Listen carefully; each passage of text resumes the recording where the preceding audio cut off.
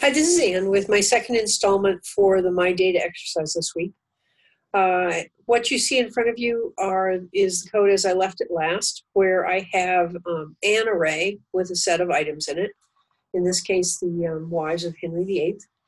And um, in the bad old days before we had objects, if you wanted to match up, say, a person and some attribute about her, what you would often do is create a set of parallel arrays. And you'll see that in the bubble report exercise this week, um, where you have two arrays with two sets of va- different values for the same um, bubble uh, solutions. Here, I've got a set of women. These women had um, full, if sometimes tragic lives. I'm sure that they were very three dimensional. Um, and we need to have a second set of attributes about them. Um, so we're going to call that my data 2. It's going to be an array. It's going to have the same number of entries in it that the first one did. And despite the fact that there are probably many different things to remember about these women, what everybody always wants to know is what their fate was. And um, and since we all know the little ditty, divorced, beheaded, died, divorced, beheaded, survived, I've gone ahead and made it so you don't have to watch me type that in. And um, I'm going to control shift B so all of my formatting lines up. Um, that didn't seem to be a control shift B. There we go. Um, so Catherine of Aragon was divorced. Anne of Boleyn was beheaded. Um, at some point, perhaps you'll run into a history or a religion um, expert who will argue with this, um, although we all remember Henry VIII as having basically um, invented divorce in England. Um, technically, I believe that the people who are listed here as divorced were, in the words of those days, their marriages were annulled. Um, but they managed to um, live past marrying Henry while he was still alive. So we're going to call him divorced because it sounds better that way. So, um, so anyway, here I have a set of people. Um, here I have their fates. And if I want to keep track of, um, if I want to be able to print out or to select the women based on their fate attribute, um, in again in the old bad days before objects, what I would do is I'd have two arrays like this, and um, oh yes, I haven't saved this as as um, my data too. So let me do that. Uh, so easy to forget. Okay, so now I have a my data two, um, a my data one, and I'm working in my data two. Um, and I think my data one is still the same as it was. Okay, so this is two array output. And what happens here is um, kind of by definition, the length of my data one and my data two are the same. So we continue to, to iterate across the length of my data one. And um, all we can do here is, um, or what we can do here that, that works out, is we can just add to this concatenation. Um, so let's add a label um, fate. What was their fate in life? Um, and in this case, um, the fate of index zero matches the person of index zero. So what we do here is we simply print out my data two index equals i. And if I run that,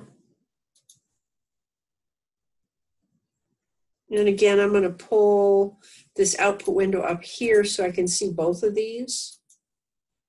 Um, and I can see that for um, index zero, Catherine of Aragon, she was divorced.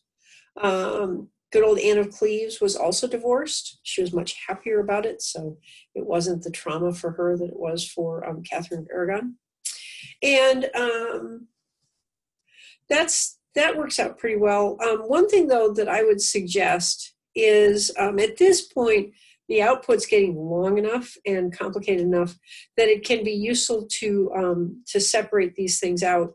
And I think what I'm going to do is create a variable up here called output and just refactor this code to um, compose output. So um, what I'm going to do is set output equal to, um, and the first thing I'm going to do is grab this whole string inside here.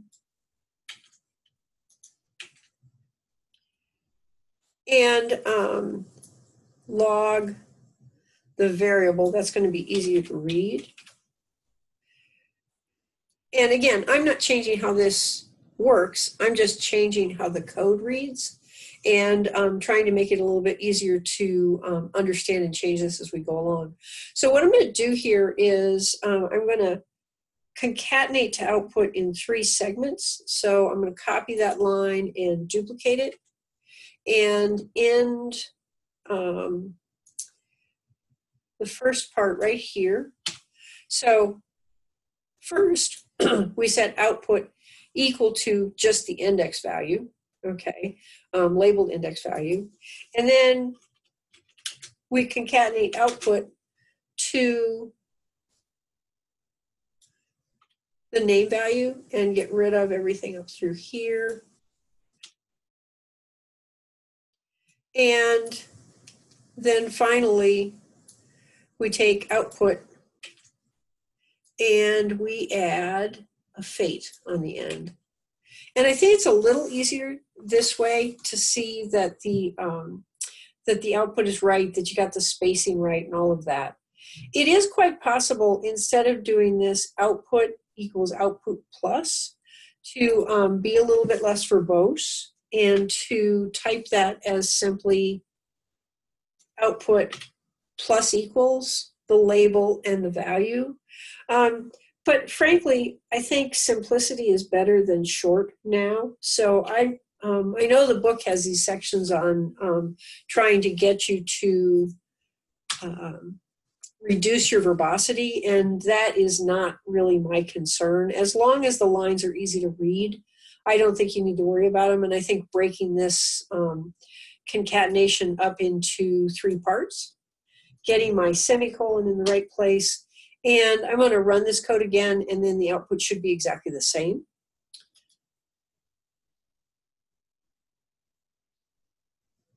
Okay, and it is. So you may or may not think that this is an improvement over um, the previous version. I kind of like it. Um, I like nice short lines.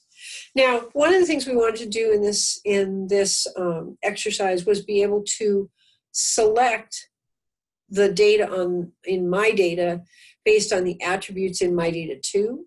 So what I'm going to do is um, come down here and um, let's see, I think we'll put a console log, an empty one, so it just makes a blank space um, before the next segment of the output.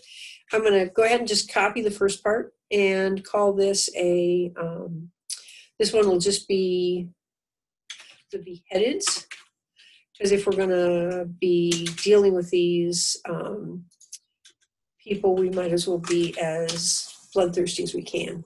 So here we're going to make a list of the beheaded wives. And what I want to do is I really only want to generate output if the entry in my data 2 is equal to beheaded. So to do that, I just add an if statement. Uh, my data 2 sub i, right? Because this I want to look at each index as we go along. If that value is equal to, um, and I can have either single quotes or double quotes here. If that's equal to beheaded, then do the output. Um, once again, I'm going to apply formatting. I usually do Control Shift B, but you can use the menu if you want get everything to look neat. So here I've got an empty line, I've got a label for the beheaded wives. I don't need to redeclare output, so let's get rid of that line. And you'll note that's what this is saying is it's already defined, so don't define it again. So let's pull that. Okay. Um, here, we're adding to output here we're resetting the values, so we're starting output over again. And um, I don't even really need the second part, but just for debugging, the first time I run this, I'm going to go ahead and leave the fate in place and um, run this file. Come over here. Here's my full array. And this is not working. So I need to figure out why.